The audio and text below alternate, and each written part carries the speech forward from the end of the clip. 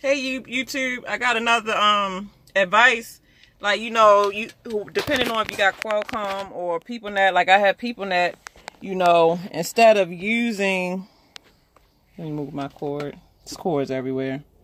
But like instead of using this annoying thing, which is like a touch screen, I hate it. So what I did was I just simply just bought me a um a keyboard and I only paid like I went. It was probably kind of high. I probably could have got it cheaper, but I went to Walgreens. I got this for like thirteen. No, it was eleven dollars. So it's just like a it's a USB cord, and you pretty much like you got to follow the wiring going down, going down from your PeopleNet. And when you get to this wiring over here, I don't like how they wired this up in here either. Let me put this down when you get to the wiring part, let me see.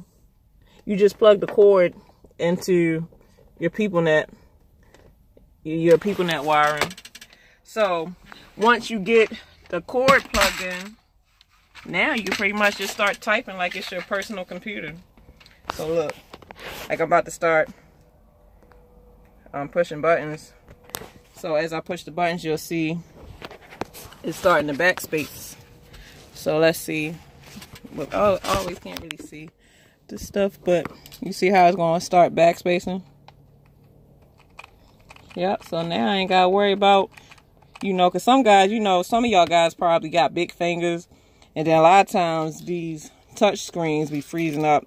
But at least you know with your keyboard, it's pretty much going to work because you got real live buttons to touch. So yeah, so I just thought I'd share that. So let me make sure my message is right. Every time I come to this place, they always give you, me issues with the empty. Like I made a video here where they wanted me to do the yard jockey's job and take the trailer out the door, put the loaded one in the door, and that's how I got my empty. Then the other time I came here, they tried to tell me wasn't no empties, and it was an empty.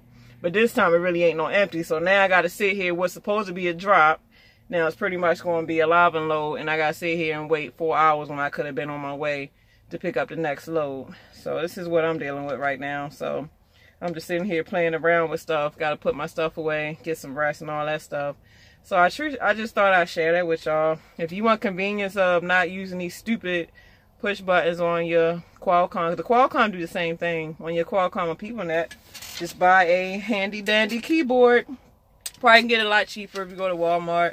I don't know if Dollar Family Dollar sell them, but Walmart, Walgreens, probably Amazon, online. But they cheap though. I mean, you can get the fancy dancy one, but I got the cheapest one I could find, which was eleven dollars. So, all right, y'all, I'm about to get some rest, and I'll be getting back to y'all soon. So, deuces.